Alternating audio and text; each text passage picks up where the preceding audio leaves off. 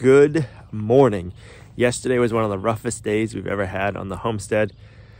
If we were gonna quit, yesterday would have been the day we would have quit. We lost our bull cow, George. We still have Miles. Freak accident. If you guys want, I'll leave the link to that video down below. I won't get all into it here, but we've been planning on putting in water line, my water spigot there down to the barn. I wanted to do it last year, but last year was a very rainy and wet year. And every time I dig a trench on a rainy kind of year, it rains and our trench gets full of water. So I didn't do that last year. Well, right now, starting yesterday, we have a nice stretch of dry weather. And I was gonna plan on starting that yesterday, but I didn't. I got all the supplies. So today we're gonna start trenching in. We gotta run water lines over from there to the barn and then to the front of the barn. And I have a special winter setup I wanna start building so we can have water over here that won't freeze and will stay running for the cows. And then I'm thinking about also adding another shutoff down by where Miles is, so that way we can have a shutoff over there in the wintertime. We're using frost-free hydrants.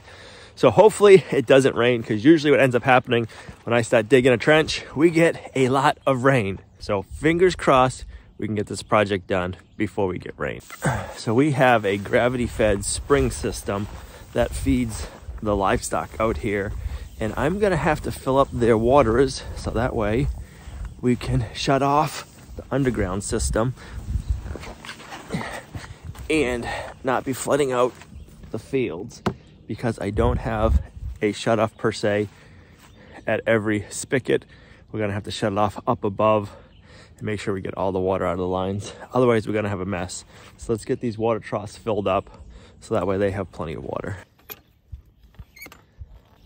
That's the hydrant we're gonna tie into over there. And then we have one more over there and the spring is up there.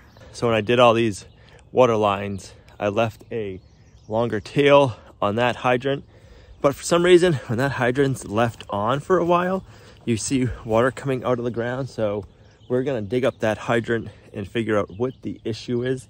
I'm not sure if it's the hydrant itself or if there's a leak somewhere else, but it's only when the hydrant is on, which is a good thing. I'd rather have it leaking when it's on because we don't leave it on all the time, only when we're using it.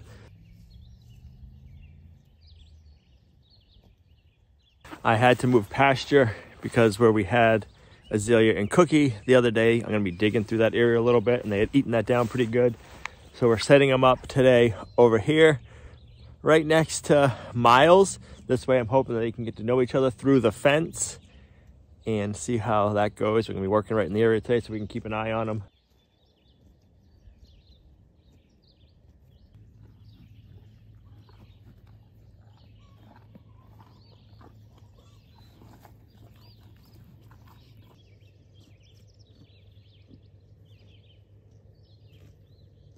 All right, our water shut off is down here. This is natural spring water, so it is cold. If I knew then what I know now, I would have put in a curbside shut off, but I didn't know about those back then, so I didn't. Curbside shut off is like what they use in sidewalks. It goes down as deep as your water line is and it shuts the water line off underground. I would have put those one of those in over here, but no, I did not do that. So now I gotta see how deep this is. Think about getting in there and plugging it, or I need to pump this out to get the water out of it. Oh, perfect fit. I like it. That way I can get out easy peasy. All right, so far things are looking promising. I just figure I'd rather keep water in the tank than have to empty it all the way out or empty it out. All right, even though I got waders on, it's still gonna be cold.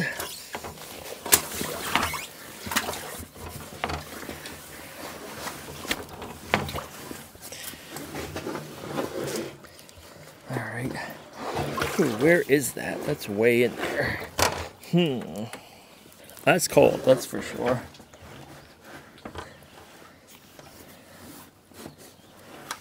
All right, on second hands, it's gonna be a lot easier just to pump this out. So let me shut off the fill valve and then I'll go get our pump that we have. I'll pump this out so it's below the fill-up line. Because that water's cold, and I really don't feel like taking a bath. If I'm going to get that plugged, I'm to have to take my waders off and just be in there in shorts and a t-shirt, and it's about 50 degrees out right now. So I'm going to see if we can do it with the pump. All right, I think this pump will be the smarter way to do this. All right, this pump should at least keep me from getting so cold. Put that in the bottom.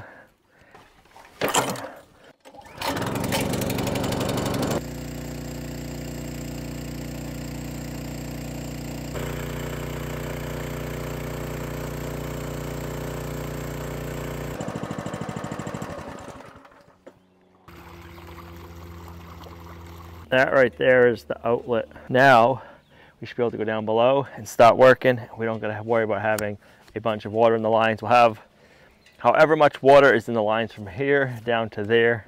We probably have a decent amount because we probably got three or 400 feet of inch and a quarter PVC black pipe underground. However many gallons that holds is what's in the system right now. All right, before we start digging, better fuel this up so we don't run out.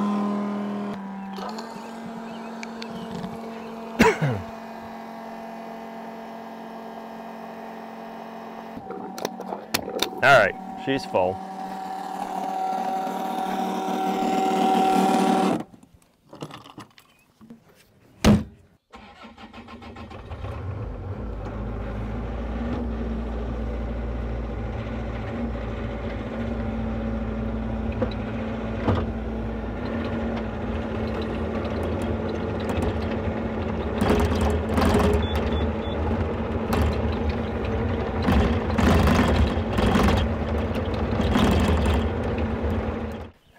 Me drain as much water out of this as I can.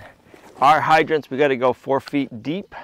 So all of our water lines are at least four feet deep. So I'm gonna dig this out and find it. Our frost line's four feet deep, so that's why we're so deep here. But this has been so nice having running water out to the pastures like this year round. I am kind of surprised with how much water is coming out of there. Miles, you got a little something something on you, mister.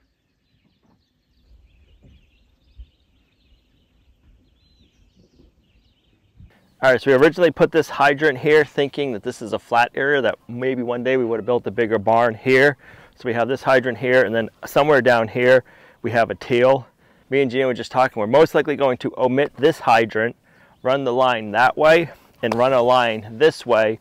And we're gonna put this hydrant down over at the water trough. So if we are using this area again in the winter, we can just fill the trough up right from the hydrant and we don't have to run a hose in the middle of winter, which is the pain. And then we're gonna run one, we're gonna put another hydrant like halfway down the pasture. And then we're gonna put one on the other side of the gates. I have a special setup I wanna do for a winter time so it doesn't freeze the troughs. And then we're gonna do one over on the front of the barn by the workshop so we can have water on that side also. And then we might do another one over here. We'll just see how the digging goes. Pluto is getting older now, and the older she's gotten is the fussier she's gotten with food, and we were having problems finding food that she really liked to eat. And she loves her Farmer's Dog dog food. So I want to thank Farmer's Dog for sponsoring today's video. Farmer's Dog has made it so Pluto looks forward to eating her meal twice a day, every day, and she can't wait to eat it. It makes us feel good too because we know she's getting a good, nutritionally dense food for her, especially at the age she is. Pluto is 13, so she is getting up there and she is still good and healthy and she loves her food. You ready for your farmer's dog? Yeah, you want it, huh? So farmer's dog delivers nutritionally balanced and fresh human grade food for dogs. You go on their website, you fill out their questionnaire, you tell them all about your dog, and they make a special blend just for your dog. This one is labeled for Pluto. It gets shipped right to our house. It is frozen. Keep it in the freezer and we take one out in a day in advance. It is so much more convenient than having to get dry dog food all the time. The best part is Pluto loves it. She eats it up. Huh. That's the best stuff you've had, isn't it? If you want to try Farmer's Dog, click our link down below or scan this QR code right here. And Farmer's Dog is offering you 50% off your first order of Farmer's Dog. Pluto loves it and she thinks your dogs won't be disappointed either. She's had their chicken, their turkey, and their beef, and she hasn't been disappointed at all. Thanks Farmer's Dog for sponsoring today's video. Now, let's get on with the project.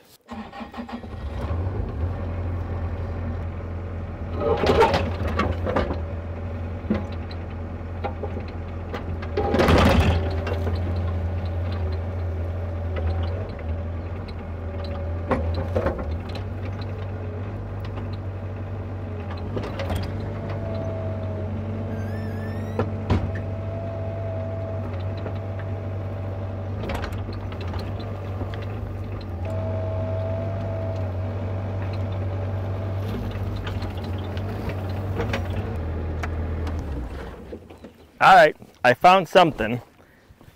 Sure did. It's filling up with water, and this would have been the end cap I had on.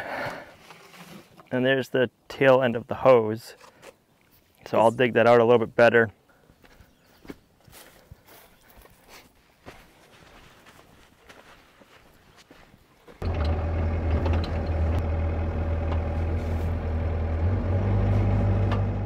Don't know what was leaking over here. Because if you left this hydrant on for a while, you'd see bubblings coming up out of the ground. So I don't know, I'm assuming it has to be that hydrant's junk. So right here is our T.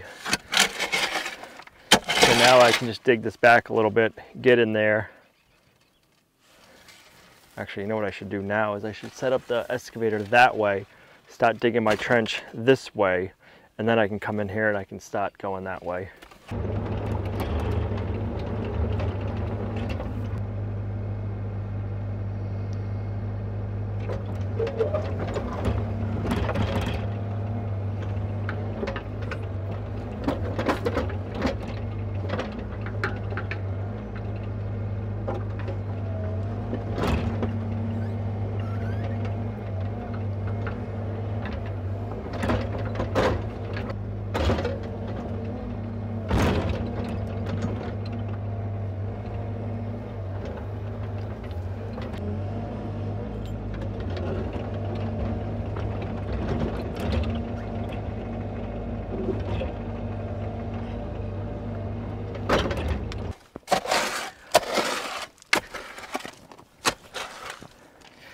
Let's see how deep we are.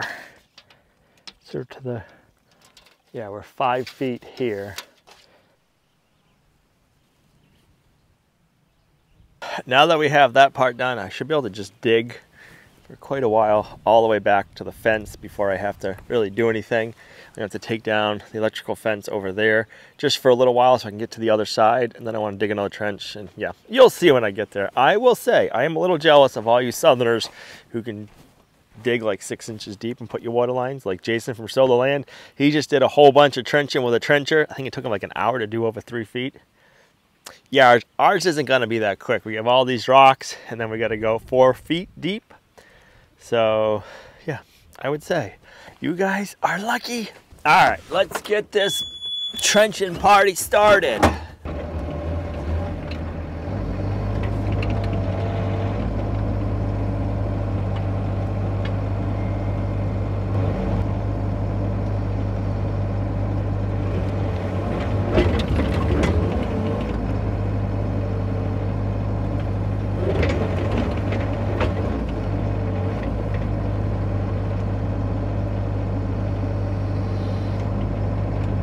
So far we've hit a few good rocks, but I got something right here. It's pretty big. I'm hoping I can get this one because all the other ones I've been able to get. I guess this one we're gonna find out in a minute. Got it.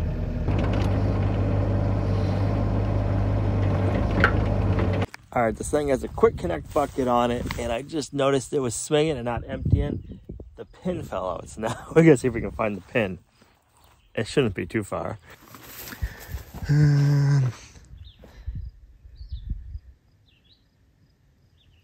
right there. Perfect. It looks like we're missing one of the finger pins on that end. That must be how it slid out. I was digging and all of a sudden the bucket was just flopping around. This pin I've taken out a couple of times to put different attachments on and it never comes out easy. But when you don't want it to come out, it just falls out on you.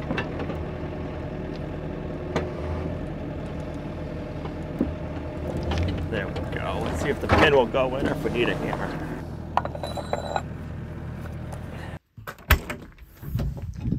Let's see. Yes. I always try to keep spare pins around because you never know when you're going to need them.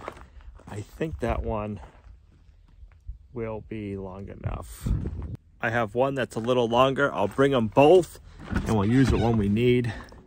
Let me get a little hammer now so we can knock the pin in the rest of the way. This will have to do.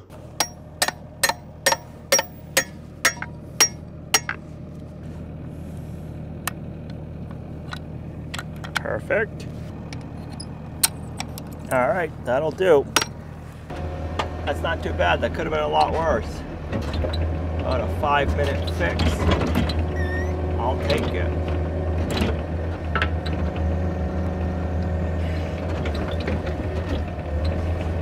I got almost to the fence line yesterday. I'm probably like 30 feet from it and I had to stop because I wanted to run out to the plumbing supply store and pick up some more supplies we kind of changed up a little bit how we're going to be doing this from when I originally planned it. Like we said yesterday, we're going to omit this hydrant, put a hydrant down there.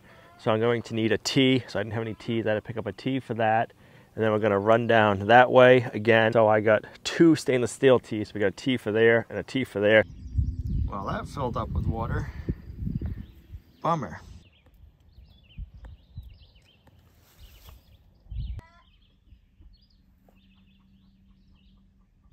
we got a few good sized rocks yesterday. We have some rocks, decent size, and then we got, I don't know, there's three there.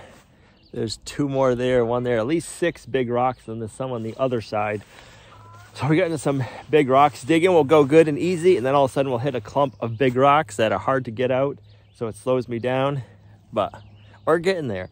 Digging here is definitely slower, and you wouldn't do it without a mini excavator. I am so thankful that we have this.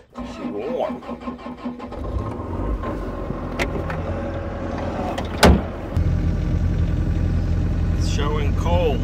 It was 38 degrees out this morning, so the excavator is showing cold. It's just beep saying that it's warmed up. But I'm hot now, but yeah, it was chilly this morning.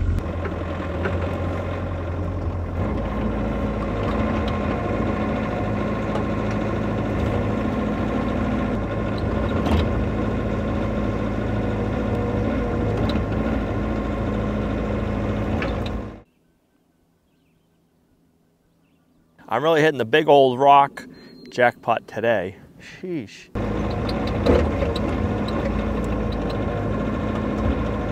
All right, I have this fence shut off for now. I'm gonna run a temporary wire from our energizer over to that side. So I'm gonna disconnect everything over here and then nothing will be getting energized. I'll take this part of the fence out and I'll have to redo it. I gotta make sure when I come down with my excavator, we don't hit this post. I was gonna do my branches first and then come in here but it's gonna be easier for me to come in here, get all this digging done, then go out, do my branches, and then I can run my lines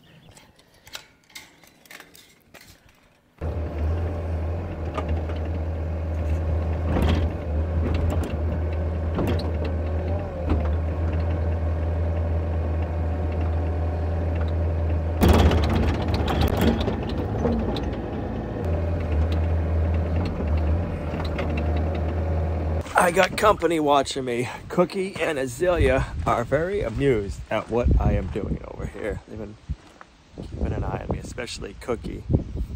So I'm just past the barn. This has been really hard digging right in here. This is really compact soil, which is good because what we built the barn and the workshop on top of. So I want to come down over here now and I want to dig and put a hydrant right in this area right here. So it's close to the man door and it's also close to this other stall door and it's also fairly close to the workshop. So if we want to do any power washing, bam, we have water here. And then I'll leave a 10 foot stub that way. So for some reason in the future, I want to put water to the workshop. We can get it off of this area. Am I keeping you entertained, Cookie?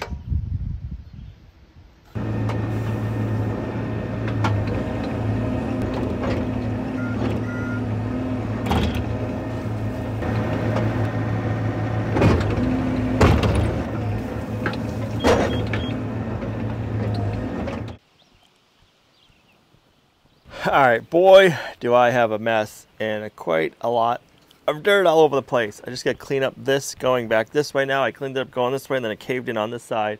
So I can clean that up and then we can go back out there and do the branches. But first, we got to fix this little leak we got going on. We're leaking right there pretty good. So I'm hoping that's just a loose fitting. So we're going to find out. You can see right here, that's from that fitting leaking. This should do the trick, hopefully. I am hopeful that this fitting just loosened up from vibrating. We're gonna find out. Because it's right here where it's leaking. Let's see. And of course, oh, yeah, it's definitely loose. Nice. I'm hoping I can do it without having to take this cover off. I mean, it's not a big deal, but there we go. Definitely loose. Let's start that up and see if the drip's gone.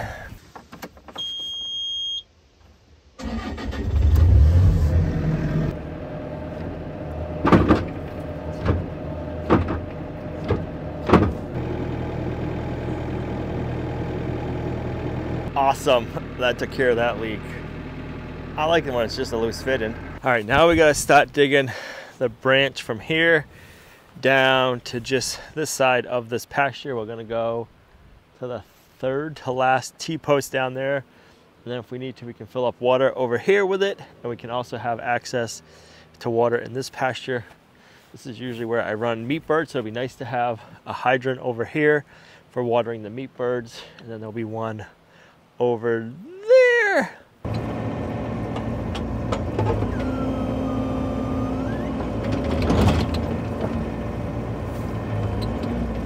Right away, we hit a rock. Good sign.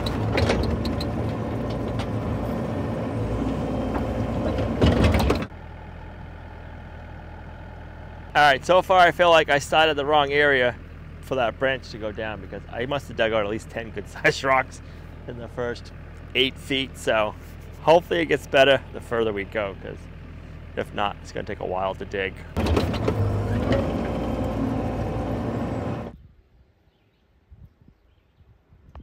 We didn't quite make it as far as I was wanted to at first, but it is pretty rocky over here. And the further down I go, the rockier it gets. So we're gonna stop about 10 feet short because I'm making a huge mess. And if I go 10 more feet, I'm probably gonna make even a bigger mess. And 10 feet's really not that big of a deal. So we're gonna stop here and call this good. And go over to the other branch down. Hopefully that one's not like this because this one was rough. I don't even want to think about what it's going to be like cleaning up this mess.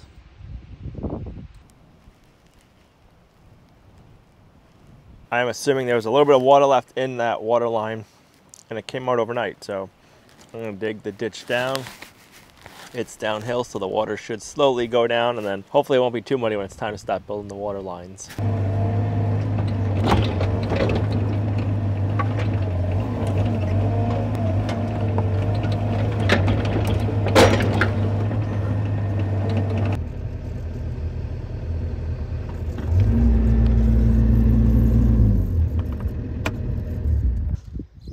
That entertaining to watch, Miles? Well, we got all the digging done. That is a good thing. It was pretty bony over here too. Look at all these rocks. That's all big rocks on that side.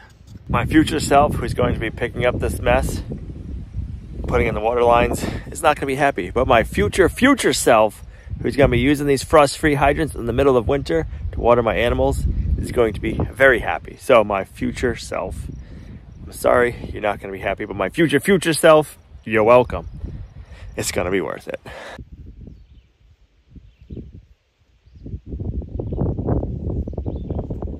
So as you can see, we have a lot of trenches dug. So now we can go ahead and start putting in our lines. We're gonna go up to that hydrant up there. We'll take that one out, put a T in, and then we'll start running our lines that way and this way. And yeah, I am looking forward to having running water all over the farm. All right, I got a T-barb fitting, a bunch of tools, some clamps. I have brass fittings for hooking up our hydrants, and then a bunch of barbs that'll go into that. So we have lots of parts and pieces we need to build. All right, now I gotta cut this off. Bam. I don't dare reuse this hydrant. Because like I said earlier, when we would leave that on, like here, it would look like a natural spring bubbling out of the ground. So it's got to have some sort of leak in it. I'm not sure what, but now we got to roll out two lines because we're going to have a T here. We'll roll out a line going that way. We'll have to use a 200 foot roll and then we'll roll out a 100 foot line going this way. All right, this is a fun part too, is rolling out the line. So where is the end? It's this way, so we got to flop it.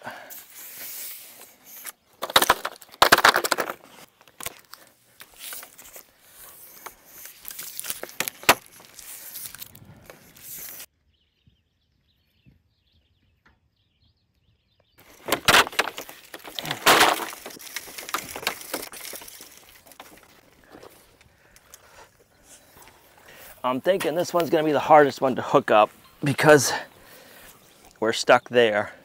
I realize fitting our line will be loose when we're working with them. This one, we're gonna be there, so we have to work it where we are. And I'm gonna put two clamps on each end. All right, I'm gonna stick everything in a five gallon bucket so that way we're not losing it in mud. I wanna heat this up just a little bit.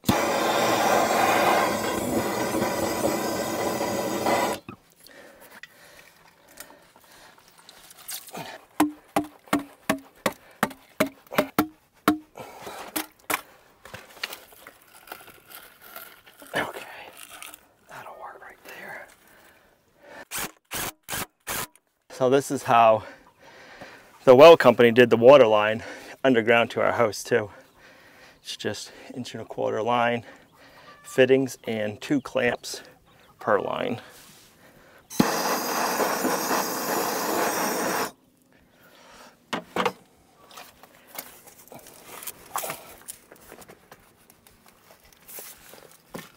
There we go. Got it. Whew. Forgot to put the clamps on. They're right here. I was kidding.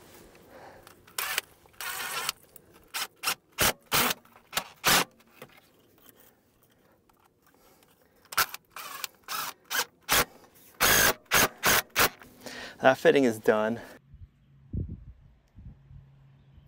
I just dug it down there a little bit deeper, like six more inches, so I can put some blue stone and have a good place for the hydrant to bleed, for the hydrant to drain. So when you these hydrants, when you turn them on and off, it shuts off down like four feet below the ground. So when you shut it off, it drains that pipe all the way back into the ground. So you got to have stone in the ground, so that way it has a place for the water to drain to. So we got the stone. We'll get that dumped in. Then I'll hook up a hydrant to one of those T's.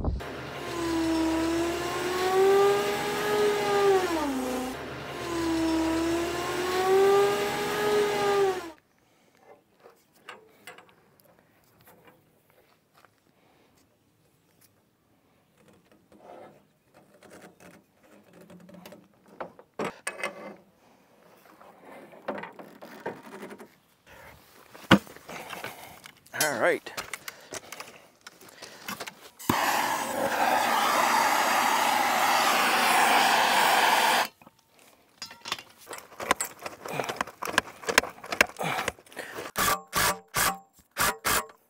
Height wise, that is like perfect.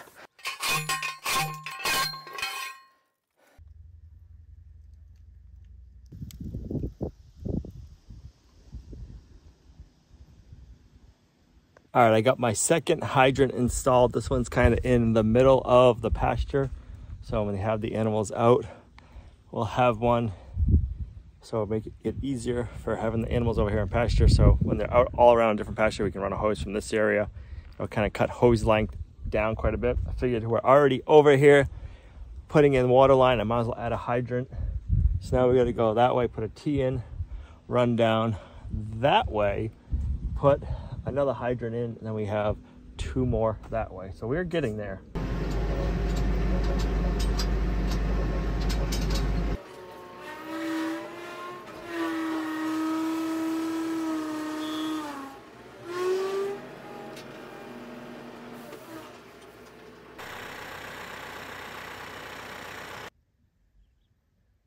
I got our T ran down to our hydrant over here. Got the line out. We just got to go down there, cut the line to length. And then we'll need the line down there. It'll feel nice. Once this one's done, we only got to go to the barn.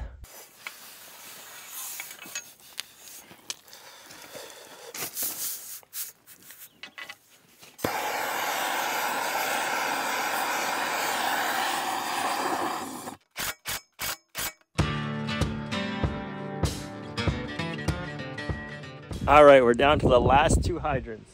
One over there, which will be the winter hydrant. I got a setup idea for that. And then we're gonna do one right more over there. Those are the last two. Then we can put water in it and see if we have any leaks or not.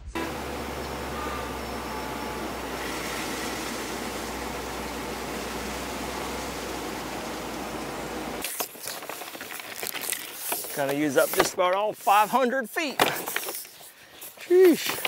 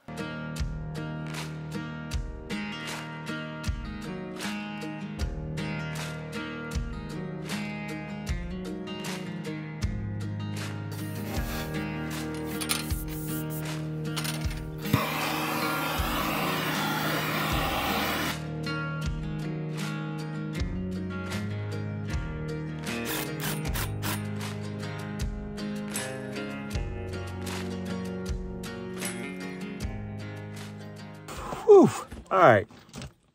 Last one is in. Now we just gotta bleed the air lines, or the water lines, I should say, get all the air out of the water lines. And then backfill everything as long as there's no leaks. This is where we're gonna end this video. I'm gonna go in and have some dinner. I am hungry. It's a lot later than I thought it was going to be, but it is done. So tomorrow we'll get water in the system, check for leaks. If everything is good, we can start backfilling all of our trenches. Thanks for coming along on our homesteading journey. You guys are a huge blessing to us in our homestead. If you liked the video, give it a thumbs up, share it, subscribe. We'll see you right back here in the next video. Bye.